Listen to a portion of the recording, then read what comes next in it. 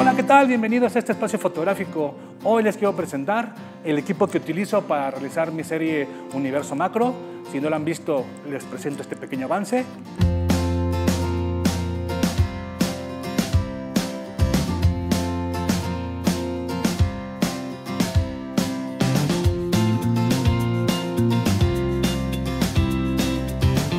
Fotografías macro, espero que les hayan gustado. Este es el equipo que utilizo para poder realizarla. Esta serie me gusta mucho porque me ha dejado grandes satisfacciones, me ha, regalado grandes fotografías, eh, me ha permitido descubrir el mundo y estar en contacto conmigo, con mi parte fotográfica, la parte más natural y la, más, la parte más simple de lo que normalmente hacemos. Incluso este es el espacio del patio de mi casa donde puedo realizar la mayor parte de esta serie. Les voy a presentar el equipo, vamos a verlo. Aquí está el equipo que utilizo para la serie macro. Sin duda, la gran estelar de mi serie es esta belleza. Es un 100 milímetros macro de la serie L. Es una óptica que está sellada contra polvo y humedad. Es una óptica que tiene estabilizador tiene recubrimientos en sus cristales para reducir las aberraciones cromáticas, súper luminosa y que tiene una gran, gran nitidez a la hora de hacer sus fotografías. Es una de las mejores ópticas que tiene Canon y ustedes no se van a arrepentir de hacer la inversión para poder adquirir este lente, porque obviamente a mí me ha permitido hacer, más allá de mi serie macro, también me ha permitido hacer fotografía de producto, joyería, alimentos, retrato y otro tipo de coberturas. Es un lente muy, muy versátil. Es una gran inversión a futuro, no se van a arrepentir de tener esta óptica.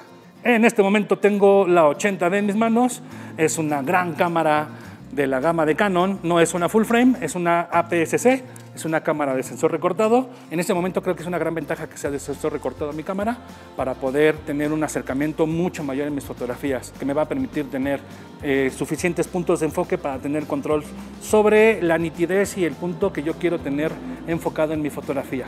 Yo les invito a probarla. Un aliado indispensable para mí es un flash speedlight. En este caso tengo el 600X RT de Canon. Es un flash súper compacto, es un flash muy potente que me va a permitir dar mayor nitidez a mis fotografías y me va a permitir controlar las situaciones de escasez de luz a las que a veces me enfrento. Yo quiero tener control sobre mi luz ambiente, yo quiero tener control sobre mi exposición y no quiero sacrificar nada, ni estabilidad, ni nitidez, ni profundidad de campo. Y obviamente lo ideal sería trabajar con un flash fuera de cámara. En este caso tengo un tripié Manfrotto de la serie Nano.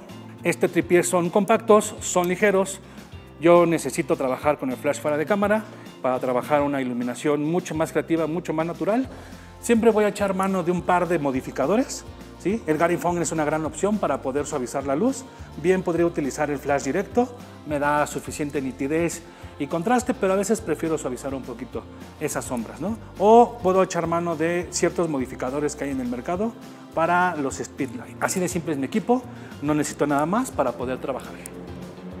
Aquí tenemos una modelo para hacer la sesión. Les digo que estas plantas están geniales porque aquí siempre hay algo que fotografiar. En este pequeño espacio siempre hay algo que fotografiar. Ella es una oruga monarca, ella me va a permitir hacer mi sesión del día de hoy como ejemplo para que ustedes puedan ver el resultado final. Ya tengo montado el flash en el tripié, tengo el modificador puesto, nada me falta colocar los radios para poder hacer la sesión. Normalmente trato de no mover a los bichitos eh, a veces tengo que quitar alguna hoja, buscar otro fondo. Eh, yo creo que lo voy a dejar ahí, voy a ver cómo me funciona. Eh, en algunas situaciones tengo que cambiar el fondo, pero trato de no alterar ni las plantas ni a los bichos para poder hacerlo. ¿no? Vamos a hacer las pruebas.